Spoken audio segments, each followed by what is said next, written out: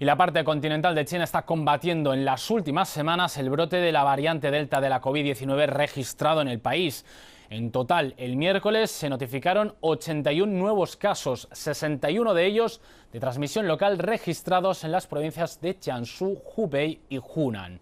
La ciudad de Yangzhou se ha convertido en un nuevo punto de contagio con 37 de los 38 nuevos casos registrados en la provincia de Jiangsu.